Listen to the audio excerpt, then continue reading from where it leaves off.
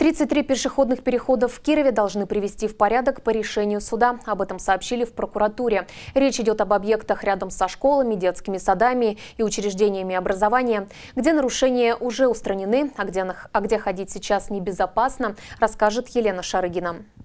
Угрозой жизни и здоровью назвали кировские прокуроры маршруты детей в школы и детские сады. Они проверили пешеходные переходы около учебных заведений и пришли к выводу. Они не соответствуют нормам и правилам. Обратились в Первомайский суд и там согласились с мнением ревизоров. Как итог, администрации выдано предписание устранить нарушения на 33 пешеходных переходах. Суд согласился с требованиями прокуратуры, возложил на администрацию города Кирова обязанность принять меры к обеспечению безопасности дорожного движения, организовать работы по обустройству и содержанию пешеходных переходов вблизи 33 образовательных организаций в соответствии с техническими стандартами. Светофоры и устройства пешеходных переходов проверяли сотрудники ГИБДД. Самое частое нарушение, по их словам, отсутствие лежачих полицейских, неработающие светофоры и тусклое освещение. Кроме того, не все так называемые пешеходники оборудованы по современным стандартам. Знаки нового образца выполняются на щитах со световозвращающей желтой пленкой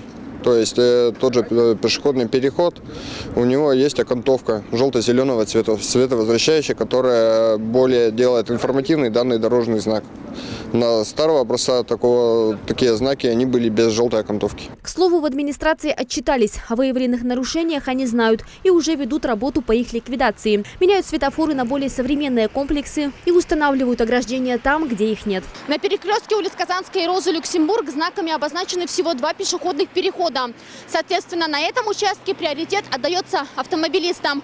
Переходить дорогу здесь можно, но для этого нужно сначала пропустить все машины, убедиться в своей безопасности и только после этого выходить на проезжую часть.